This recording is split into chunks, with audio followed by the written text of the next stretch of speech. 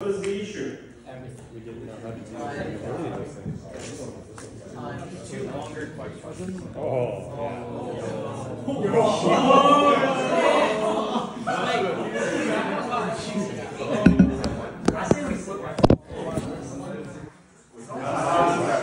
I haven't had the chance to look at the questions or the responses from you folks.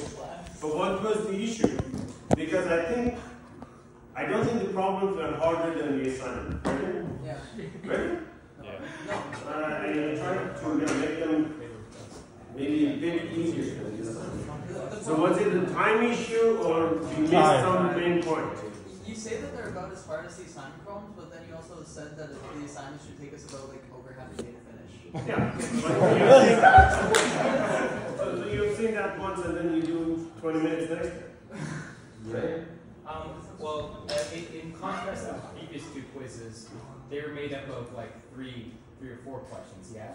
And some of them were quite easy to solve, and I think that boosted a lot of people's marks on the first two versus the, the, second, the third one, which was just too, too longer stuff. Okay. Uh, mm, that maybe, yeah. I think, and I might have run around with you after, there was um, less time.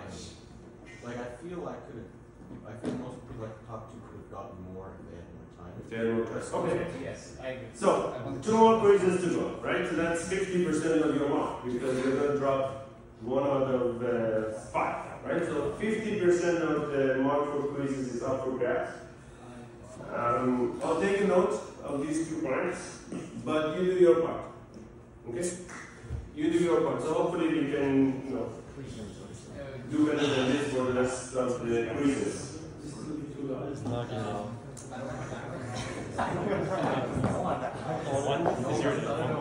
Yeah. So, pass rate? So any questions about uh, the material? So I, I have these, I will send them to you after the break, and then uh, hopefully you will pass. Okay, so, and again, good news for anybody that didn't understand anything so far. Op amps are totally different. So you can actually make a perfect 100% on the last quiz and don't remember any of the initial stuff. So, you know, here's a chance. Another good news, op amps are used everywhere. If you know how to use op amps, you can solve 90% of your uh, electronic problems in, uh, in the field. So what is an op amp? We talked about this new device in the previous lecture. We said it's a three-terminal device. In reality, we know at least there are five, right? Because you need to have a positive supply and a negative supply, or maybe ground, right? But so there are at least two more pins here that we usually do not show. But the functional things are as shown here. So this one is called non-inverting input. This one is inverting input. And this one is obviously output. So V out for an op amp is given by an expression like this. So it takes the difference between the two voltages that are applied to the inverting and non-inverting inputs and amplifies that and puts it at the output. This is general op amp, but we talked about ideal op amp that has some really interesting properties.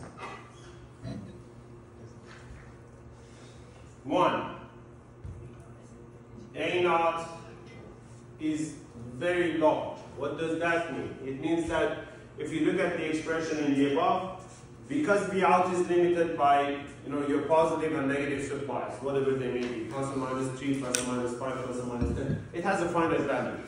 Because V out has a finite value, if A naught goes to infinity, what that means is that the difference between V plus and V minus will go to zero. Right? The voltages on those two terminals. It's not that you apply two voltage sources and it makes the voltage sources equal to each other. It's that, let's say if you have a voltage on one and the other one can set its own voltage through a circuit, it makes it equal to the other. Okay?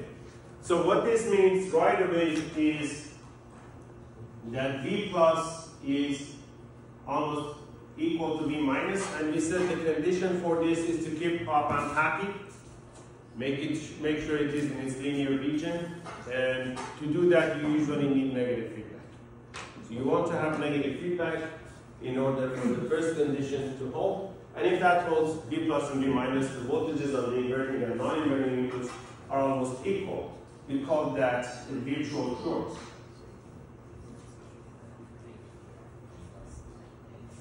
Between the two. Why is it not a real short? Because there is no current